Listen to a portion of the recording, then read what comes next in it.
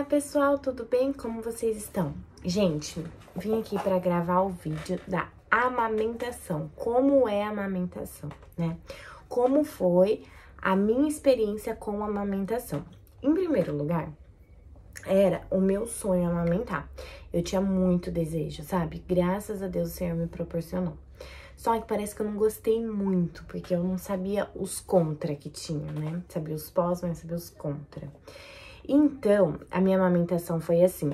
No começo, no hospital, foi de boa. Ela pegou do jeitinho dela, todo mundo, ai, tá errado, tá certo. Mas pra mim, se ela conseguia mamar, tá, tava top. E ela pegou lá do jeitinho dela. Até hoje, ela mama errado, que é o jeitinho dela, né? Mas tá, tá, tá bom. Enfim, aí lá na maternidade ela pegou, só saiu colostro, né? Colostro, colostro, sei lá. Só, sabia, só saiu esse negócio. Aí depois em casa começou a sair o leite. Gente do céu. Quase que eu tive um treco. Por quê? Eu tinha muito leite, mas muito leite, muito. Começou a empedrar tudo até aqui em cima, um negócio gigante daquele tamanho. E ela, coitadinha, amamentava, é, mamava pouquinho, né? Aí, o que que eu fiz? Comecei a entrar em desespero. Aí, liguei pra minha mãe. Aí, minha mãe, ah, entra debaixo do chuveiro e tira com o pente. Só que, gente, hum, o tanto que tinha, ia ficar dois dias lá fazendo isso, né? Aí, tive uma ideia, uma ideia, bombinha, porque eu lembrei que a minha prima tirava na bombinha, porque a, a nenê dela não conseguiu pegar no peito. Falei, gente, vou comprar uma bombinha, tipo assim, como eu não pensei nisso antes, que anta. Aí tá, comprei uma bomba pra tirar leite, mas antes disso, gente, eu sofria tanto. Por quê?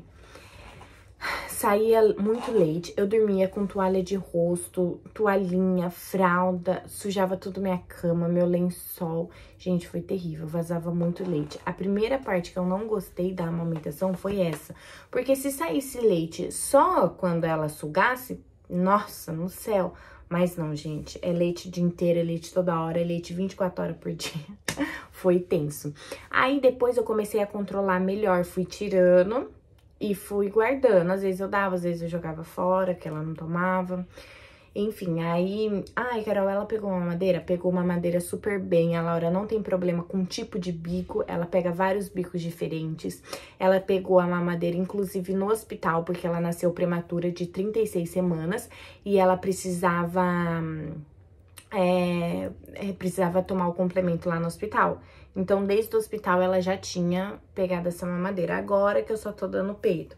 Mas eu já vou começar a colocar mamadeira de novo, porque ela vai pra escolinha.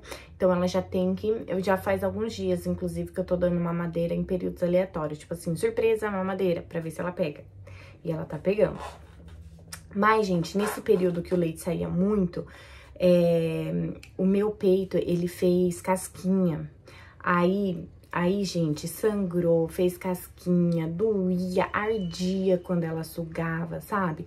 Eu, eu, eu costumo falar que pra amamentar tem que ter opinião, porque se você não não quiser, tipo, você não, não consegue, você não faz. E eu queria, falei, nossa, menina vai mamar, né? E o problema nem era a menina, ela tava lá mamando suave, o problema era eu. Enfim, gente, aí eu comecei a passar uma pomadinha que a minha prima me deu. Eu vou pegar aqui pra vocês verem, que me ajudou muito, super. Gente, eu fui lá buscar. É essa daqui, ó, Mamilã. Como que funciona? Você pega, ó, hidrata e ajuda a proteger os mamilos na fase da amamentação. Você pode é, começar a passar ela antes da amamentação, algumas semanas antes, pra ela hidratando. Aí, depois, você continua usando. Só que, tipo assim, quando eles é pequenininho, eles mamam muito, tipo, toda hora e pouco. Tipo assim, não deu pra entender, né? Eles mamam toda hora, só que pouco, né? Aí, ele, ela, aí eu aplicava no seio, fala que pode colocar a boquinha do bebê pra sugar direto, só que eu não tinha coragem. Aí eu limpava, dava mamar e depois passava a pomada de novo. Só que, gente, era um tempo muito curto que a pomada ficava, porque ela já queria mamar de novo, sabe, assim? Então, mas deu super certo. Depois que passou essa fase aí de 15 dias do peito destruído, que parece que é pouco, mas pra quem para quem vive é terrível, né? Depois que passou essa fase, ela foi, foi ótima. Aí eu parei de usar pomadinha, aí o seio ficou normal, hoje ela mama normal, eu continuo tendo bastante leite, mas assim, só tem o suficiente para ela ir mamando, sabe? Não é mais aquela coisa que eu precisava ficar tirando leite toda hora. Mas, gente, uma dica que porque tem gente que fica bitolado. Ai, minha filha não mamou. Gente, fica tranquilo. Cria o seu filho da forma que você acha que seja viável para vocês, né? Eu tô fazendo assim, para ser uma como eu posso dizer, uma, uma maternidade tranquila, sabe? Não uma maternidade pesada, carregada. Ah, eu preciso fazer isso, ah, eu preciso fazer aquilo, me cobrando toda hora. Não, porque isso não funciona. Sobrecarrega a mãe, sobrecarrega o casamento, sobrecarrega o pai, sobrecarrega a criança, porque a criança sente se você ficar irritada. É, você não tem leite se você ficar nervosa. Então, tipo assim, faça do jeito que for melhor para você, para sua família, para o seu marido.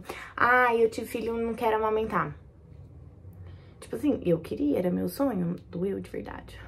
Mas se você não quer, tipo assim, problema é seu, é você e sua família e acabou. Você não amamenta, tem um monte de leite, compra leite. Eu falei pro Gabriel, né? Eu falei assim, amor, o próximo filho eu não vou amamentar, eu vou comprar leite, vou colocar esse leite na conta e não vou amamentar. Só que hoje eu já tenho dó, já penso diferente. Falo, não, vou amamentar.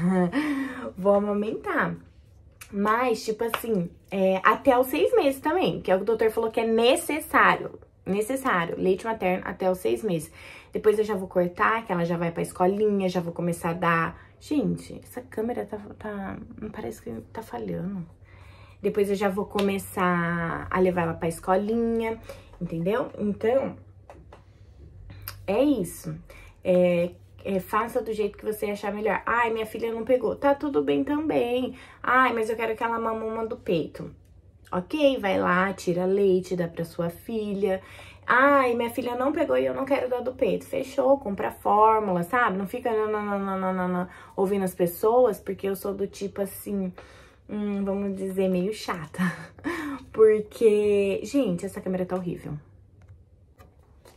Voltei.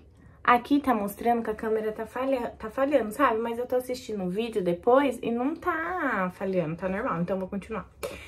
Enfim, eu sou do jeito meio chata, porque, tipo assim, eu não vou fazer... Às vezes, são opiniões... É... Mas, gente, as pessoas dão tanta opinião, tanta opinião, misericórdia... Não, eu, eu já esperava isso, né?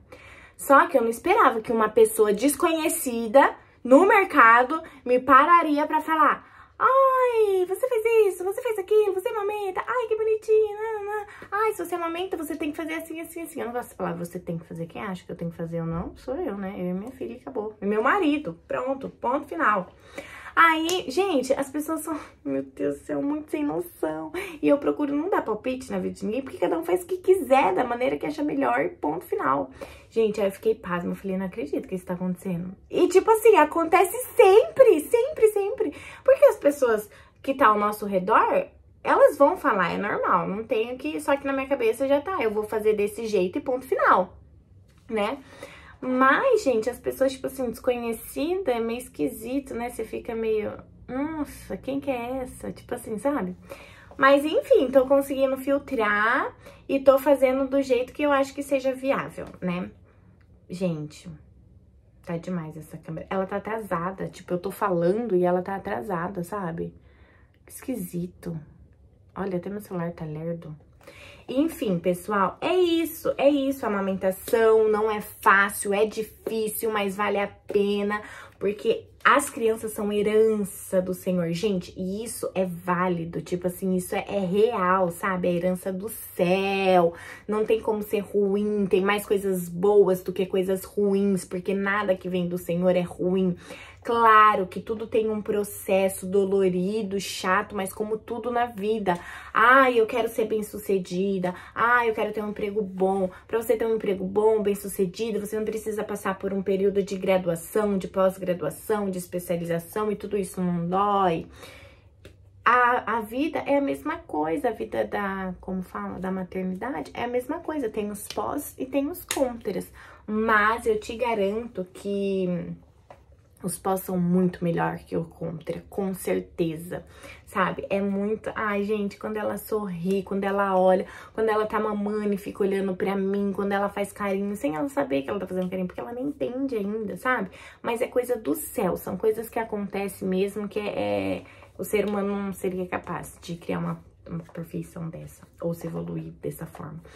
Gente, e é maravilhoso, maravilhoso. Então, então é isso, meu vídeo de amamentação é... Dói, é difícil, não é fácil, tem que ser persistente, tem que, para quem quer amamentar, né? Como eu disse, para quem quer amamentar até o final. Para quem não quer, ok também, tipo, é uma opção. Eu também falei que eu ia desistir, que eu não ia querer mais. Só que acho que eu amamentaria de novo, pelo menos até os seis meses, porque, gente, francamente, eu também não vejo a hora de parar. É muito, ah, às vezes dá vergonha, você tá no meio do nada, aí você tem que tirar pra dar mamar, sabe? Então, é isso que eu tô falando, tem os pós e tem os contras, mas é muito prazeroso, é muito prazeroso, é coisa assim do céu mesmo. Mas até os seis meses tá bom, já passou experiência, foi, foi ótimo, foi lindo. Gente, então é isso. Espero que vocês tenham gostado. Meu vídeo de amamentação ficou enorme de longo. E a Laurinha tá dormindo, senão eu, eu ia trazer ela aqui no vídeo com a gente. Que agora eu vou postar mais, né, ela assim, que agora ela já tá mais grandinha, ela fica falando, ela já presta atenção, ela já consegue ver certinho. Tá bom, pessoal? Então é isso, minha experiência com a amamentação, minha dica. Deixa eu ver se tem mais alguma dica além disso pra passar. Ai, gente, minha dica é hidrata bem Ai, desculpa. Minha dica é, hidrata bem. E depois, se você tiver muito leite, tiver empedrando, tira, tira bastante, vai tirando. E depois vai começar a ser normal. É mais nos primeiros dias que desce aquela multidão. Pessoal, voltei, gente. Agora eu sei porque tava travando que eu tava falando pra vocês. Tava acabando a bateria, daí carregou. E eu voltei pra terminar de falar que o quê? Que, gente, é assim mesmo. Então, eu tava falando da bombinha, né? Aí você vai lá, bombinha elétrica, tira e já alivia e fica ótimo.